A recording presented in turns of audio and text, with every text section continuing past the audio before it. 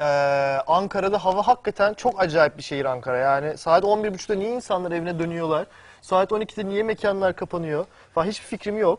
Ama gündüzleri 20 derece, geceleri 4 derece olan bir şehirden İşte bahsediyorum. seni dövmüşler bir de. Sen Abi- telefonda onu söyledin. Abi enseme Dahta kılıçla mı vurdular?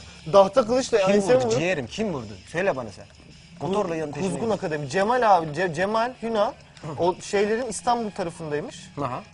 Ondan sonra e, o da işte okla havuç kesmekle ve portakal kesmekle ilgileniyor ya bu aralar. Evet evet evet öyle bir videosu var gördüm. Ondan sonra e, o da onların İstanbul tarafında hani o da e, orta çağ kılıç sporlarına ve işte ok falan merak tabii tabii yani ve çok çok az insandır abi. Çok Sonra az. dün beni bir dövdüler. Evet. Bir dövdüler. Ama gelen geçeni dövüyorlar. Yere bile kündeye getirdiler.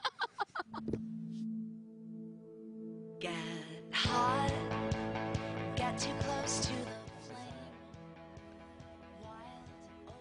Burada girdiler sana değil mi yani? Abi estağfurullah ama ge- genelinde hani Bak, şu bak, anda kabzayı koydu. şu anda Ha, bak şimdi kabzayı vu- ha, vu- Ah!